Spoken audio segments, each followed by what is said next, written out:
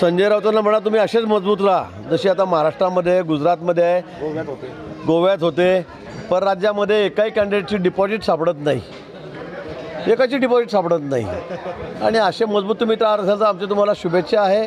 पण ते जे म्हणतात देवेंद्रजी भ्रष्टाचारांच्या मांडीला मांडी लावून बसतायत मला वाटतं त्यांना बोलायला काही ताल राहिलेला नाही आहे कुठली सीमा नाही आहे दररोज सकाळी उठून काही बरळायचं हा त्यांचा उद्योग आहे.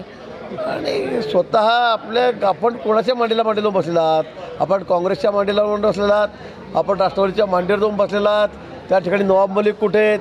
अनिल देशमुख कुठे होते? कुठे आहेत? आता मी अनेक लोकांची नावं घेईन की किती किती वर्षे कोण कोण आज जाऊन आलं ना आता कोण कोण त्या मार्गावर आहेत. त्यामुळे संजय राऊतजी आपण बोलताना थोडा विचार करून बोलत जा. एवढंच सलामी देईल. पण त्यांचा आणि विचाराचा काही संबंध नाही सध्या. संजय राऊत आणि विचार. हा संबंधच नाही कुठल्या गोष्टीचा. तोंडात येईल तसं ते बोलत राहतात काही बरळत राहतात. आणि म्हणून त्यांचा आता कोणत्याही म्हणजे महाराष्ट्रातल्या जनतेचा त्यांच्यावर विश्वासच राहिलेला नाही.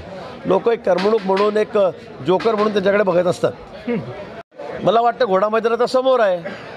सगळ्या निवडणुका आहेत स्थानिक स्वराज्य संस्थेच्या आहेत महापालिकेच्या आहेत नगरपालिकेच्या आहे आणि वर्षभराने लोकसभेच्याही आहेत. त्यांना म्हणा चव्हाण साहेबांना म्हणा आता तुम्हीच कॅन्डिडेट व्हा.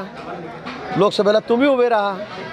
आणि एकदा आजमावून घ्या. एवढा जर तुमचा जोर असेल महाविकास आघाडीचा तर पृथ्वीराज बाबांना सांगा की आपणच तिकीट घ्या आणि निवडून देऊन दाखवा. एखाद्या ठिकाणी खासदार होऊन दाखवा.